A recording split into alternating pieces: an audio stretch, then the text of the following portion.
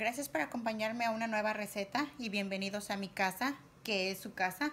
Hoy vamos a preparar unas ricas lentejas. Este es un platillo delicioso y fácil de hacer.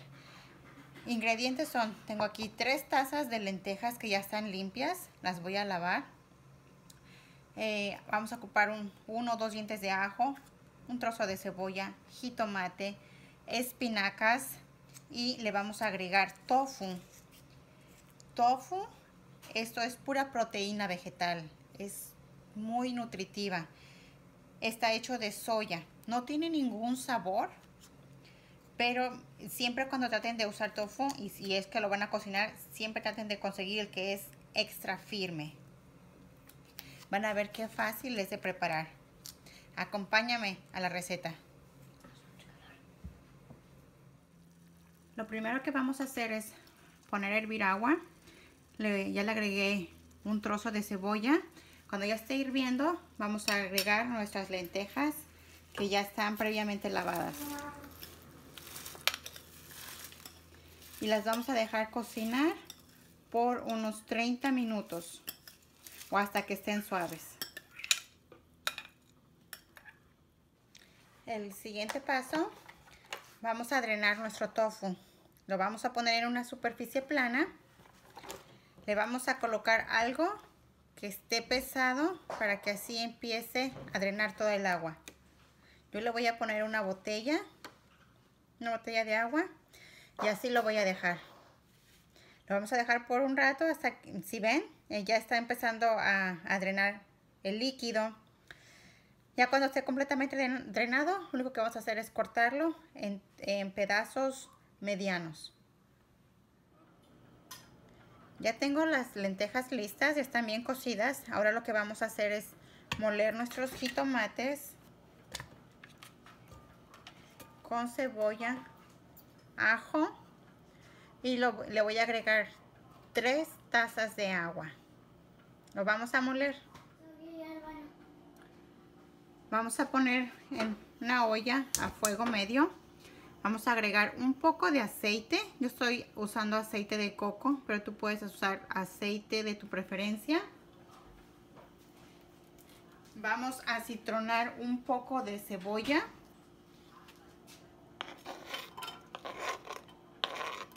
Pero yo para hacer más atractivas mis lentejas, porque también quiero que mis niños las coman, le voy a agregar un poco de carnes frías si tú las quieres completamente veganas, no, no se las agregues. Yo solamente porque quiero, quiero hacerlas más atractivas para mis niños.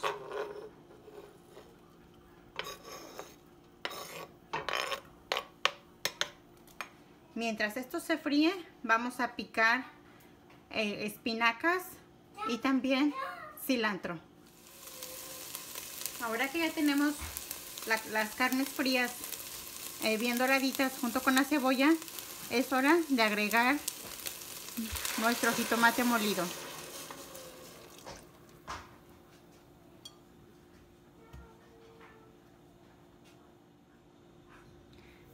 Agregamos un poco de sal. Y vamos a dejarlo a que hierva.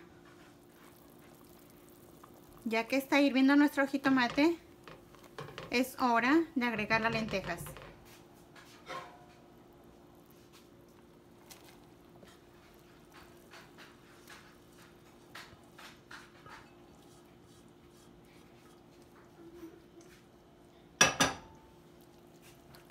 Revolvemos todo muy bien.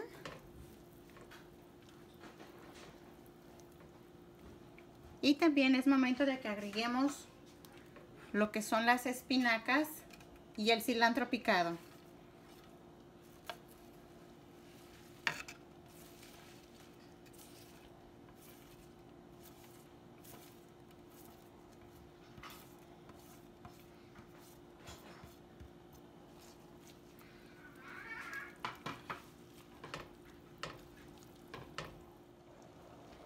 Ya que tenemos nuestras lentejas hirviendo, es hora de agregar el tofu.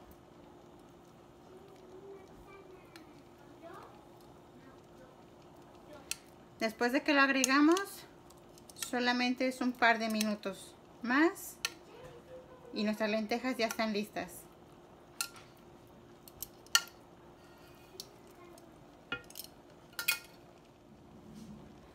Ya han transcurrido un par de minutos. Eh, hay que checar de sal nuevamente porque el tofu suele absorber el sabor de la comida. Bueno, ahora, este, les déjenme comentarles que normalmente cuando mi mamá nos preparaba las lentejas, ella molía lo que es el chile chipotle, lo molía junto con el jitomate, el ajo y la cebolla. Yo no lo hice porque esta comida también la van a comer mis niños. Entonces lo único que voy a hacer es agregarle un, un chilito y eso nada más para darle un poco de sabor y esto no, no va a picar. Si tú quieres molerlo, está bien, es perfecto si lo mueles. Pero yo en este caso solamente se lo voy a agregar así.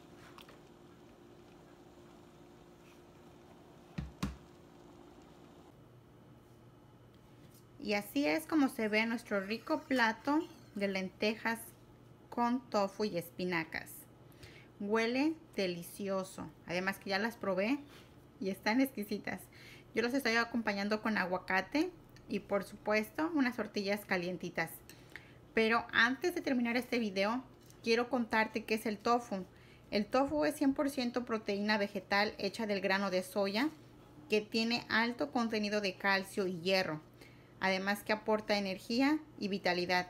Reduce el colesterol, sube las defensas porque favorece a la creación de anticuerpos.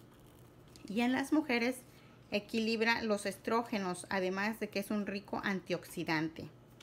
Y las lentejas son una gran fuente de hierro, magnesio, potasio, cobre, fósforo, además que aporta ácido fólico, que en las mujeres es muy benéfico. Combate anemia por su gran contenido de hierro y es un alimento recomendado para los diabéticos. Pero cuidado, porque si sufres de, de colon irritable o colitis, es mejor que no lo consumas porque como contiene demasiada fibra, eso te puede irritar. Así que como ven amigos, esta es una comida fácil de hacer, pero muy nutritiva.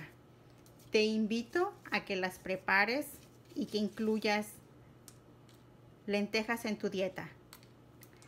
Gracias por acompañarme en este video. Si te gustó, regálame un like. Suscríbete si no lo has hecho. Y nos vemos en el próximo video. Bye.